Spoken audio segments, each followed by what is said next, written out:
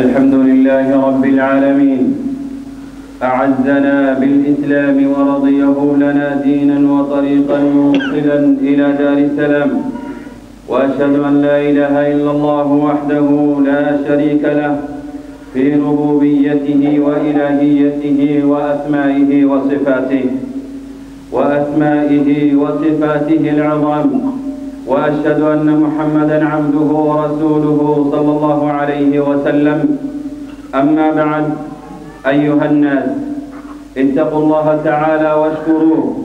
على ما خصكم به من الفضل العظيم والدين القويم وقد اكمله لكم واتم به نعمته عليكم ووعد بحفظه من التغيير والتبديل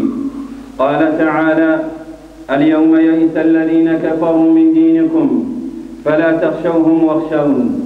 اليوم أكملت لكم دينكم وأتممت عليكم نعمتي ورضيت لكم الإسلام دينا عباد الله يجب على المسلمين أن يعتزوا بالإسلام فهو دين العز والكمال قال تعالى وأنتم الأعلون إن كنتم مؤمنين فمن ابتغى العزة فمن ابتغى العزة والرفعة بغير الإسلام أذله الله لم يترك الإسلام جانبا من جوانب الحياة إلا نظمه أحسن تنظيم ولا فضيلة من الفضائل إلا وحث عليها ولا رذيلة إلا وحذر منها فهو كامل في جانب العقيدة وفي جانب العبادة وفي جانب السياسة وفي جانب المعاملات وفي جانب الآداب والأخلاق صالح لجميع البشر في كل زمان ومكان بين الله فيه كل شيء يحتاج إليه الإنسان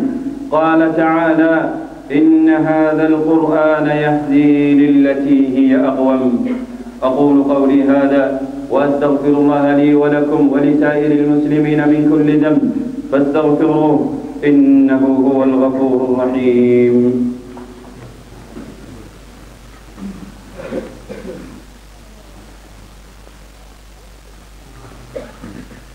الحمد لله رب العالمين وصلى الله وسلم وبارك على نبينا محمد وعلى آله وصحبه أجمعين عباد الله فقد حذر النبي صلى الله عليه وسلم من التشبه بغير المسلمين في شؤونهم الخاصة بهم من عباداتهم وعاداتهم وتقاليدهم وبين سوء عاقبته وشدة عقوبته وحذرنا من مشاركتهم في أعيادهم ومناسباتهم التي يقيمونها ويحتفلون بها فقال عليه الصلاة والسلام ليس منا من تشبه بغيرنا ومما ابتلي بعض المسلمين اليوم مشاركتهم الفرح بعيد مشاركتهم الفرح بمناسبة عيد الميلاد النصراني وتبادل التهاني معهم وتعطيل الدوائر والأعمال الرسمية بهذه المناسبة التي التي هي إظهار لشعائر دين النصارى قال شيخ الإسلام ابن تيمية رحمه الله تعالى ومن ذلك ترك الوظائف الراتبة من المصانع والتجارات أو حلق العلم واتخاذه يوم راحة وفرح واللعب فيه بالخيل وغيرها على وجه يخالف ما قبله وما بعده من الأيام إلى أن قال رحمه الله فجميع ما يحدث فيه من المنكرات مثل إيقاد النيران وإحداث الطعام واصطناع شموع وغير ذلك فإن اتخاذ هذا الميلاد عيدا هو دين النصارى ليس لذلك أسل في دين الإسلام ولم يكن لهذا الميلاد ذكر أسلا على عهد السلف الماضين بل أصله مأخوذ عن النصارى قال تعالى يا أيها الذين آمنوا لا تتخذوا اليهود والنصارى أولياء بعضهم أولياء بعض ومن يتولهم منكم فإنه منهم إن الله لا يهدي القوم الظالمين ألا ألا صلوا وسلموا على من أمركم الله بالصلاة والسلام عليه اللهم صل على محمد وعلى آل محمد كما صليت على إبراهيم وعلى آل إبراهيم وبارك على محمد وعلى آل محمد كما باركت على إبراهيم وعلى آل إبراهيم في العالمين إنك حميد مجيد وارض اللهم عن الخلفاء الأربعة أبي بكر وعمر وعثمان وعلي وعن سائر الصحابة وعنا معهم برحمتك يا أرحم الراحمين اللهم أعز الإسلام والمسلمين وأذل الشرك والكفرة والمبتدعة والمشركين ودمر أعداءك أعداء الدين إن الله يأمر بالعدل والإحسان وإيتاء ذي القربى وينهى عن الفحشاء والمنكر والبغي يعظكم لعلكم تذكرون واذكروا الله العظيم يذكركم واشكروه على نعمه يزدكم ولذكر الله أكبر والله يعلم ما تصنعون واقم الصلاة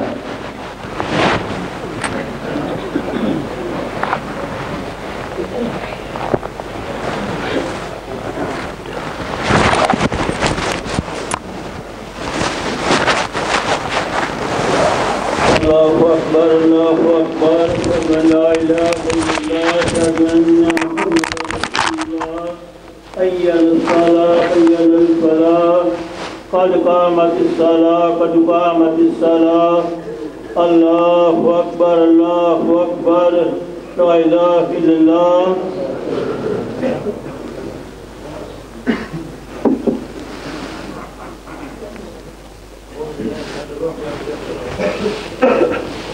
سووا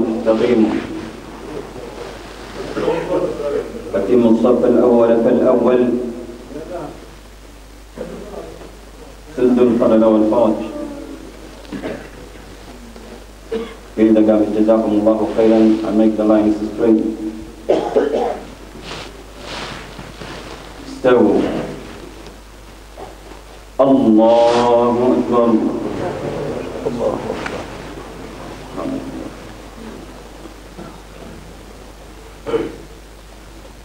الحمد لله رب العالمين الرحمن الرحيم مالك يوم الدين إياك نعبد وإياك نستعين اهدنا الصراط المستقيم صراط الذين أنعمت عليهم غير المغضوب عليهم ولا الضالين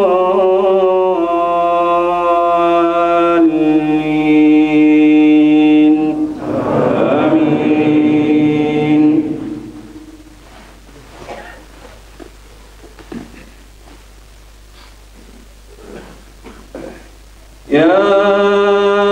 أيها الذين آمنوا إذا نودي للصلاة من يوم الجمعة فاسعوا إلى ذكر الله وذروا البيع ذلكم خير لكم إن كنتم تعلمون فإذا قضيت الصلاة فانتشروا في الأرض وابتغوا واذكروا الله كثيرا لعلكم تفلحون وإذا رأوا تجارة أو لهوا انفضوا إليها وتركوك قائما قل ما عند الله خير من اللهو ومن التجارة والله خير الرازق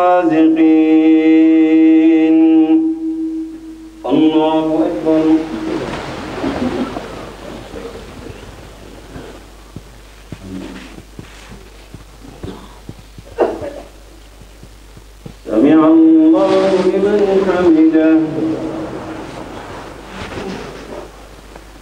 الله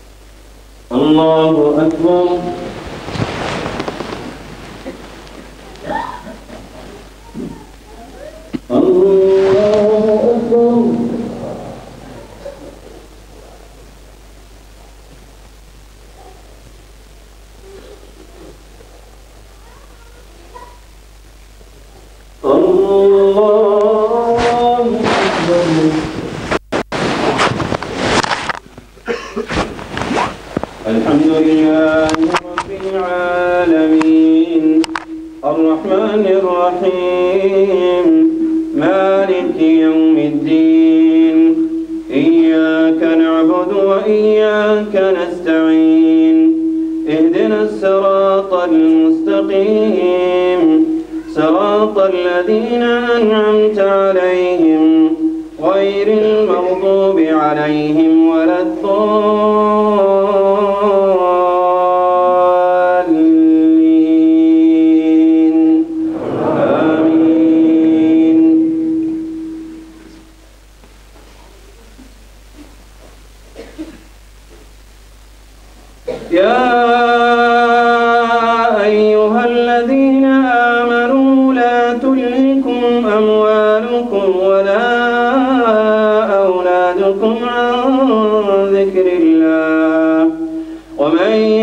يفعل ذلك فأولئك هم الخاسرون وأنفقوا مما رزقناكم من قبل أن يأتي أحدكم الموت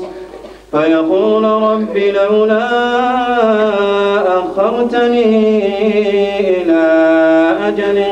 قريب فأصدق وأكن من الصالحين ولن يؤخر الله نفسا إذا جاء أجلها والله خبير